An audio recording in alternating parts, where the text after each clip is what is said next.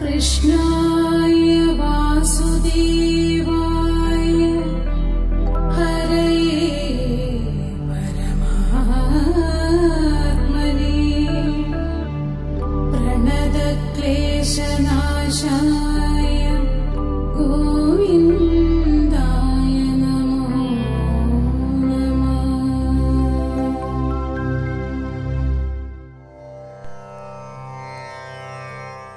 ഭാഗവത കഥകൾ നാൽപ്പത്തിയഞ്ച് ബ്രഹ്മജ്ഞാനം ലഭിച്ച ചിത്രകേതുവിന് പാർവതിയുടെ ശാപമേറ്റതെങ്ങനെ എന്നതായിരുന്നു നമ്മൾ ഇന്നലെ ചോദിച്ചു നിർത്തിയത് അസുര ജന്മമായിട്ടും ദേവേന്ദ്രനെ ജ്ഞാനോപദേശം ചെയ്യുന്ന ഉയർന്ന ആത്മാവായി വൃത്രാസുരൻ എങ്ങനെ രൂപം കൊണ്ടു എന്നതിനുത്തരമായി ശുഖമുനി കഥ തുടർന്നു ഭഗവാൻ വിഷ്ണുവിന്റെ സംഘർഷണ ഭഗവാവതാരമായ ആദിശേഷനെ ഇങ്ങനെ ചിത്രകേതു സ്തുതിച്ചു. തവ വിഭവ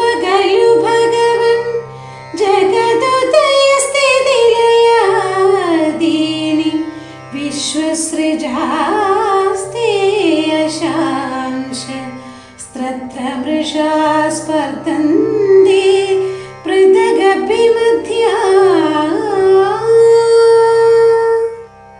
അതായത് ലോകത്തിന്റെ സൃഷ്ടി സ്ഥിതി ലയങ്ങൾ അങ്ങയുടെ ലീല മാത്രമാണ്. അതറിയാതെ അങ്ങയുടെ അംശത്തിന്റെയും അംശമായ വിശ്വസൃഷ്ടാക്കൾ സൃഷ്ടിയും പരിപാലനവും തങ്ങളുടെ ശക്തി മൂലമാണെന്ന് മിഥ്യാഭിമാനം കൊള്ളുന്നു. അപ്പോൾ ഭഗവത് രൂപം ഇപ്രകാരം ചിത്രകേതുവിനെ ഉപദേശിച്ചു. യഥാർത്ഥത്തിൽ ഇത്തരം ദ്വന്ദ്ങ്ങൾ ഇല്ല. കാണുന്നവന് കാഴ്ചയും ഞാൻ തന്നെയാണ്. അതായത് ഇതൊന്നും തമ്മിൽ യാതൊരു വ്യത്യാസവുമില്ല. ഈ ലോകത്തിലെ സമസ്ത വിഷയങ്ങളും ഞാൻ തന്നെയാണ്. അവയെ ആസ്വദിക്കുന്നതും ഞാൻ തന്നെയാണ്. ബ്രഹ്മദർശനം കിട്ടിയ ആൾക്ക് ഈ ലോകത്തിൽ കാണുന്നത് അനുഭവിക്കുന്നത് ഒക്കെ സ്വപ്നം മാത്രമാണ് എന്ന ജ്ഞാനമുണ്ടാകും. ഉറങ്ങുന്ന ആൾക്ക് സ്വന്തമായി സൃഷ്ടിക്കുന്ന സ്വപ്ന ദൃശ്യങ്ങൾ യാഥാർത്ഥ്യമല്ല എന്ന് തോന്നുന്നില്ല. എന്നാൽ ഉറക്കമുണരുമ്പോൾ അറിയാം അത് യാഥാർത്ഥ്യമായിരുന്നില്ല എന്ന്. അതുപോലെ ആത്മാവിനെ ശരീരം വെടിഞ്ഞു കഴിയുമ്പോൾ ജീവിതമാകെ മായയാണ് എന്ന് തിരിച്ചറിയാൻ കഴിയുന്നു. മനുഷ്യജന്മം മൂന്ന് മേഖലകളിലൂടെ കടന്നുപോകുന്നു. ജാഗ്രത സ്വപ്നം നിദ്ര. സ്വപ്നലോകം ജാഗ്രത എത്തുമ്പോൾ മാഞ്ഞുപോവും. നിദ്രയിലാകട്ടെ ജാഗ്രതാലോകമോ സ്വപ്നമോ ഇല്ല. അതിനാൽ പ്രപഞ്ചം സംബന്ധിച്ച പരമാർത്ഥമറിയാനാണ് യഥാർത്ഥ ജ്ഞാനി അഥവാ വിവേകി ശ്രമിക്കേണ്ടത്. ബ്രഹ്മവിദ്യ എന്നത് സ്വാതന്ത്ര്യത്തിലേക്കുള്ള ചവിട്ടുപടിയാണ്. ജീവിതമുക്തി എന്ന് തന്നെ അതിനെ കണക്കാക്കാം. മനുഷ്യൻ ഈ ജന്മത്തിൽ എന്തെല്ലാം ചെയ്യുന്നു? അതെല്ലാം ദുഃഖം ഒഴിവാക്കാനും സന്തോഷം നേടാനും വേണ്ടിയാണ്. പക്ഷേ പലപ്പോഴും പ്രതീക്ഷിക്കുന്ന സന്തോഷം അവന് ലഭിക്കുന്നില്ല. ദുഃഖത്തിൽ നിന്ന് മോചനം കിട്ടുന്നില്ല. പ്രത്യക്ഷമായി തന്റെ ലാഭം മോഹിച്ച് കഠിന പരിശ്രമം നടത്തുന്ന ഒരാൾ ഒരു കാര്യം മനസ്സിലാക്കണം.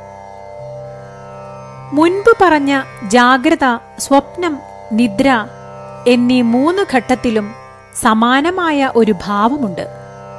അത് ഞാൻ എന്ന ഭാവമാണ്. സത്യത്തിൽ ഭഗവാൻ എന്നത് മാത്രമാണ് സത്യം. അതുകൊണ്ട് മനുഷ്യജന്മത്തിൽ തന്റെ വിചാരങ്ങൾ അത്രയും ഭഗവാനിൽ അർപ്പിച്ച് ജീവിക്കുകയാണ് മുക്തിമാർഗത്തിന് വേണ്ടത്. ഈ വിദ്യ അങ്ങ് വീണ്ടും വീണ്ടും മനസ്സിലുറപ്പിക്കുക. വൈകാതെ അങ്ങ് എന്നിലേക്ക് ലയിച്ചു ചേരും. അങ്ങനെ ഭഗവാൻ മറഞ്ഞുപോയി. ഇത്രയും കേട്ടപ്പോൾ തന്നെ അനിർവചനീയമായ ആനന്ദം ചിത്രകേതുവിന്റെ ഉള്ളിൽ നിറഞ്ഞു. ഇനിയൊരിക്കലും എനിക്ക് യാതൊന്നുകൊണ്ടും ദുഃഖമുണ്ടാവുകയില്ല എന്ന് അദ്ദേഹം തിരിച്ചറിഞ്ഞു. അദ്ദേഹം ദേവന്മാർ നൽകിയ വിമാനത്തിൽ കയറി ബന്ധങ്ങൾ ഒന്നുമില്ലാതെ ദുഃഖങ്ങൾ ഒന്നുമില്ലാതെ ഭഗവത് സ്തുതികൾ പാടിക്കൊണ്ട് സഞ്ചരിച്ചു. അങ്ങനെ സഞ്ചരിക്കുന്നതിനിടയിലാണ് അദ്ദേഹം ശ്രീ പരമേശ്വരൻ പാർവതിയോടൊപ്പം കഴിയുന്ന കൈലാസപർവതത്തിൽ ചെന്നെത്തിയത്. മഹാദേവന്റെ തിളങ്ങുന്ന രൂപം കണ്ട് അദ്ദേഹം വിമാനത്തിൽ നിന്നിറങ്ങി കൈലാസപർവതവും അതിനു ചുറ്റുമുള്ള അഭൗമ ഭംഗിയും ആസ്വദിച്ചു. ശ്രീ പരമേശ്വരൻ ആ സമയത്ത് മഹർഷിമാരുടെയും സിദ്ധന്മാരുടെയും നടുവിൽ ഇരിക്കുകയായിരുന്നു. അദ്ദേഹത്തിന്റെ മടിയിൽ ശ്രീപാർവതി ഇരിക്കുന്നുണ്ടായിരുന്നു. ഒരു കൈകൊണ്ട് ശ്രീപാർവതിയെ സ്നേഹപൂർവം പരിരംഭണം ചെയ്തുകൊണ്ടായിരുന്നു അദ്ദേഹം മഹർഷിമാർക്ക് ആത്മതത്വം ഉപദേശിച്ചുകൊണ്ടിരുന്നത്. ചിത്രകേതു ബാക്കി നിന്ന കർമ്മപ്രേരണയാൽ എല്ലാവരും കേൾക്കെ ഇങ്ങനെ ചിരിച്ച് പരിഹസിച്ചു. പരമേശ്വര ശിവനെ ഇങ്ങനെ കണ്ടിട്ട് എനിക്ക് അത്ഭുതം തോന്നുന്നു. എല്ലാ മഹർഷിമാരുടെയും മുന്നിൽ അഗ്രാസനത്തിലെ ജ്ഞാനിയായി അദ്ദേഹം ഇരിക്കുകയാണ്. എന്നിട്ട് മഹർഷിമാരെ പോലെ മരവുരിയും ജടയും ധരിച്ചിട്ടുമുണ്ട്. പുണ്യകഥകളത്രയും അദ്ദേഹത്തിനറിയാം. പക്ഷേ മഹർഷിമാർക്ക് ആത്മ ഉപദേശം ചെയ്യുമ്പോൾ തന്നെ പത്നിയുമായി പ്രേമകേളികളിൽ ഏർപ്പെടുകയും ചെയ്യുകയാണ്. ജ്ഞാനിയല്ലാത്ത ഒരു സാധാരണക്കാരൻ പോലും പരസ്യമായി ഇങ്ങനെ ഭാര്യയുമായി പ്രേമസംഗമത്തിന് മുതിരുകയില്ല. എന്താണ് ഈ കാഴ്ചയ്ക്ക് ഒരു വിശദീകരണമുള്ളത്? ചിത്രകേതുവിന്റെ പരിഹാസം കേട്ട് ശ്രീ പരമേശ്വരൻ മറുപടിയൊന്നും പറഞ്ഞില്ല. അദ്ദേഹം മഹർഷിമാരുടെ ഒപ്പം പുഞ്ചിരി തൂകുക മാത്രം ചെയ്തു. ആരും ഒന്നും പറഞ്ഞില്ലെങ്കിലും ശ്രീപാർവതിക്ക് ഈ പരിഹാസം തീരെ സഹിച്ചില്ല. താൻ ഇന്ദ്രിയ ദുഃഖങ്ങൾക്ക് അതീതമാണെന്ന് ചിത്രകേതുവിന് അഹങ്കാരമുണ്ടെന്ന് ദേവി കണ്ടെത്തി.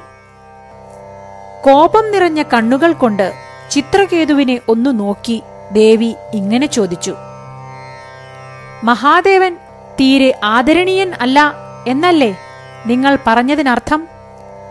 ഈ മഹർഷിമാർ ധർമ്മതത്വങ്ങൾ മനസ്സിലാക്കാത്തവരാണ് എന്നും അതിനർത്ഥമില്ലേ? ജഗദ്ഗുരുവായ ശ്രീ പരമേശ്വരന്റെ പാദധൂളി ശിരസിൽ അണിയുന്നവരാണ് ദേവർഷിമാർ പോലും. അങ്ങനെയുള്ളവരാണ് ബ്രഹ്മവിദ്യ മനസ്സിലാക്കിയ ഭാഗവതന്മാർ. അവരുടെ ഒപ്പമിരിക്കാൻ നിനക്കർഹതയില്ല.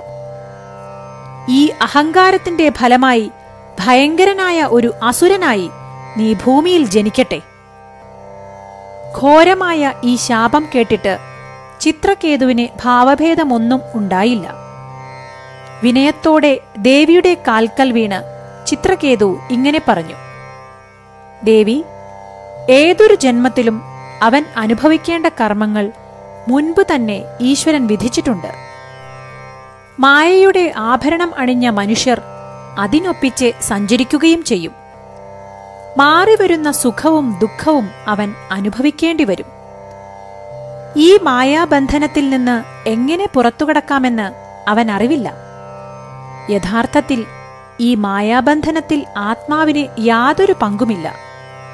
ഞങ്ങളെയെല്ലാം സൃഷ്ടിക്കുന്നതും മായയിൽ ബന്ധിപ്പിക്കുന്നതും വിമുക്തനാക്കി മുക്തി തരുന്നതും ഒക്കെ ഭഗവാനാണ്.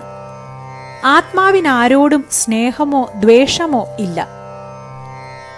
ഞാൻ പരമാത്മാവാണെങ്കിൽ അതിനെ എങ്ങനെയാണ് ക്രോധം ബാധിക്കുക? ദേവി എന്നെ ശപിച്ചു. അതിലെനിക്ക് കുഴപ്പമില്ല. ഈ ശാപം പിൻവലിക്കാൻ ശാപമോക്ഷം തരാനൊന്നും ഞാൻ ആവശ്യപ്പെടുന്നില്ല.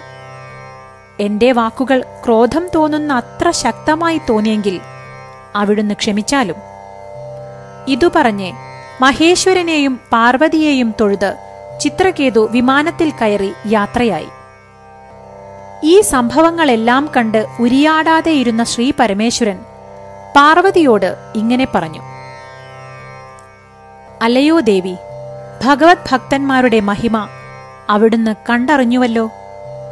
അനുപമമായ മഹത്വമാണ് അവരുടെ മുഖമുദ്ര. സ്വർഗം നരകം അനുഗ്രഹം ശാപം ഇതെല്ലാം ഭക്തനെ ഒരുപോലെയാണ്. യഥാർത്ഥ ഭക്തനെ എന്തെല്ലാമാണെങ്കിലും എവിടെയാണെങ്കിലും മനഃശാന്തി തന്നെ ലഭിക്കും എന്നാണ് ചിത്രകേതു നമ്മെ പഠിപ്പിച്ചത്. ശ്രീഹരിയിൽ മനസ്സുറപ്പിച്ചവനെ ഈ ഭൂമിയിൽ ഒന്നും നേടാനുമില്ല നഷ്ടപ്പെടാനുമില്ല. ക്ഷത്രിയ ജന്മത്തിലോ അസുര ജന്മത്തിലോ അദ്ദേഹത്തിന് ദുരന്തങ്ങൾ അനുഭവപ്പെടുകയില്ല.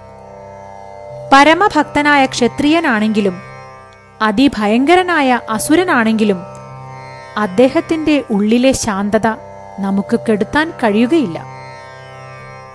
ഈ വാക്കുകൾ കേട്ട് ദേവിയുടെ കോപം ശമിച്ചു. നിർവികാരമായ മനസ്സോടെ ശാപം സ്വീകരിച്ച് ചിത്രകേതു പിന്നെ വൃത്രാസുരനായി തീർന്നു. അങ്ങനെ ശ്രീപാർവതിയുടെ ശാപം നിമിത്തം അസുരനായി പിറന്ന ചിത്രകേതു എന്ന വൃത്രാസുരൻ പൂർവജന്മത്തിൽ തന്നെ ഉള്ളിലുറച്ച ബ്രഹ്മവിദ്യയാണ് മരണസമയത്ത് ദേവേന്ദ്രന് പറഞ്ഞുകൊടുത്തത്. പാർവതീദേവിക്ക് പരമേശ്വരൻ ഉപദേശിച്ചു കൊടുക്കുന്നത് എന്ന തരത്തിൽ ശുഗമുനി പരീക്ഷിത് മഹാരാജാവിനെ മഹാവിഷ്ണുവിന്റെ പ്രഭാവം പറഞ്ഞു നൽകി. പരമശിവൻ ഇങ്ങനെയാണത്രേ പാർവതിയോട് പറഞ്ഞത്. നാഹം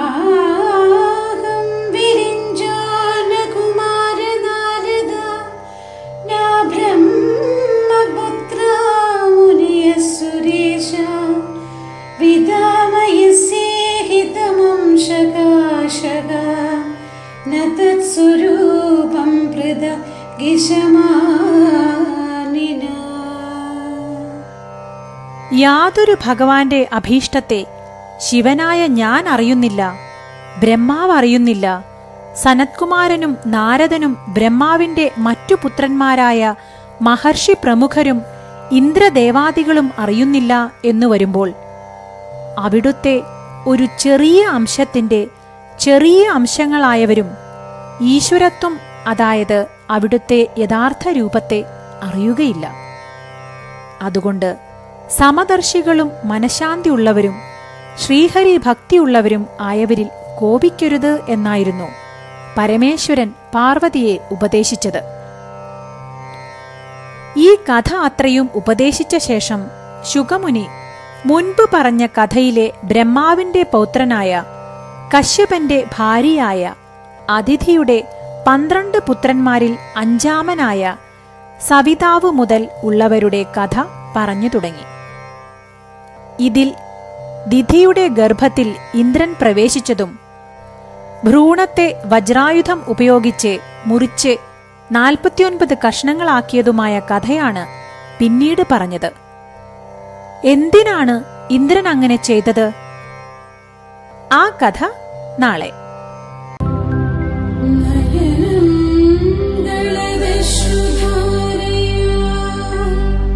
within it.